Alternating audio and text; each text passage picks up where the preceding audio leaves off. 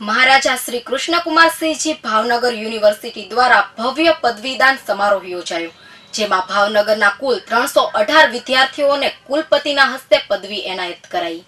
એમ કે યુનિવર્સિટી દ્વારા પદવીદાન સમારોહ યોજાયો હતો, જેમાં ભાવનગરના ત્રણસો અઢાર વિદ્યાર્થીઓને કુલપતિના હસ્તે પદવી એનાયત કરવામાં આવી. રાજ્યપાલ કોહલીએ યુનિવર્સિટીના દીક્ષાંત સમારોહમાં ભાવનગર વિશ્વવિદ્યાલયને જ્ઞાનનું સર્જન કરવા માટે જણાવ્યું હતું તેમજ રાજસ્થાન રાજ્યના બાળ અધિકાર સંરક્ષણ આયોગના પૂર્વ અધ્યક્ષા મનનબેન ચતુર્વેદીએ આહવાન કર્યું હતું રાજ્યપાલના હસ્તે ત્રણસો અઢાર ડિગ્રી ધારકોએ પદવી તથા ઓગણપચાસ ને પારિતોષક આપવામાં આવ્યા હતા सच देखना जरूरी है जब एक एक करके हेल्पलाइन पे बच्चे आते चले गए आते चले गए तो मेरे पास ज़रिया नहीं था कि मैं उन्हें कैसे पालूं। तो मैं बताना चाहूँगी कि मैंने किताब लिखनी शुरू की जिसका नाम था बोगनवेलिया। और ऐसे आपके जैसे बड़े बड़े कार्यक्रमों में गेट के बाहर खड़ी हो जाती थी और दस दस रुपए में वो बिकती थी। खड़ी रहती थी। उसके बाद में थिएटर सुनी, बच्चों की कहानियों पे करने शुरू किए, शॉर्ट फ़िल्म बनी और लोगों ने देखा और लोगों में जागृति आई। उसके बाद में और पैसे की जब ज़रूरत थी, धन कभी भी कारण नहीं होता। धन सिर्फ़ आपको घर चलाने के लिए चाहिए होता है। तो पेंटिंग्स करनी शुरू की, वही आता था। हाथों से लोगों ने नया नाम दिया रंगरेजा। पेंटिंग भी बनाई तो कैसे बनाई? किसी ने मुझसे कहा कि आपने क्या दिया? सच में मैंने क्या दिया?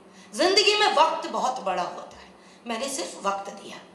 तो बहत्तर घंटे, तीन दिन, तीन रात स्टैचू सर्किल पे खड़ी हुई और पेंटिंग्स बनाई। और ऐसे 24 24 24 घंटे की कई मैराथन की आपके अहमदाबाद में कर्णावती क्लब में की, राजकोट में की, बड़ौदा में की, और जितना कर्जा था आपके गुजरात से मैंने कमा के चुकाया।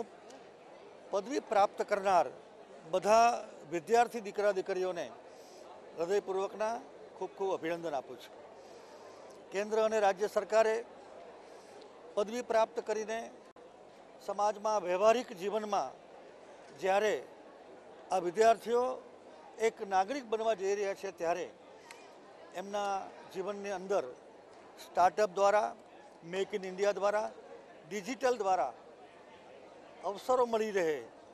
એના માટે રાજ્ય સરકારે ખૂબ મોટી યોજનાઓ કરી છે.